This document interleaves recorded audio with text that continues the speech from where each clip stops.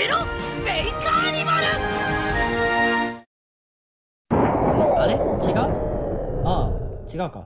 こんなのベイブレードじゃな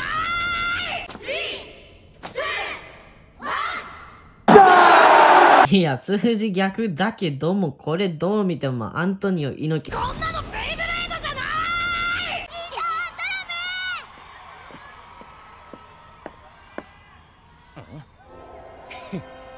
急激な加速はスタジアムの特性をたまたま使えただけ。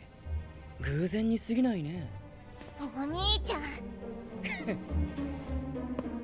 いやこいつマジかよ。来た方角に戻りやがったわ。まあすぐ引いてくれたんならよし。もう二度と現れんな。こんなのベイブレードじゃない。この調子で次のバトルも。あ？なんか用か？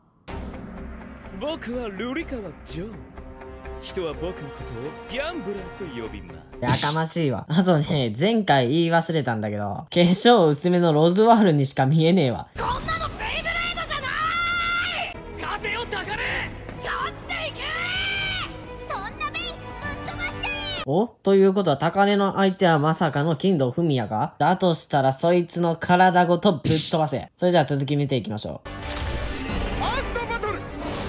いや、お前かい、ロズワール。俺前回指名手配書出したんだけどな。頼むから誰か通報してくれ。そいつの顔マジで狂気。こんなのベイブレードじゃないわあコロもある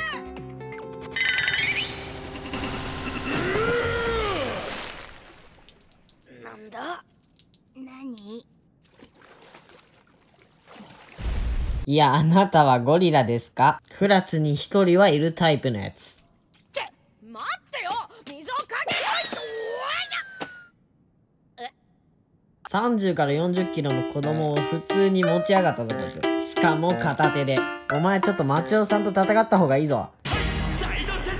うん十分戦える。そんでもって見かけの割にすごい優しいな。ああこれあれだろ？体格の割にすっげえ精神弱いやつ。多分絶対そういうキャラだと思う俺の言葉今すぐ忘れろ。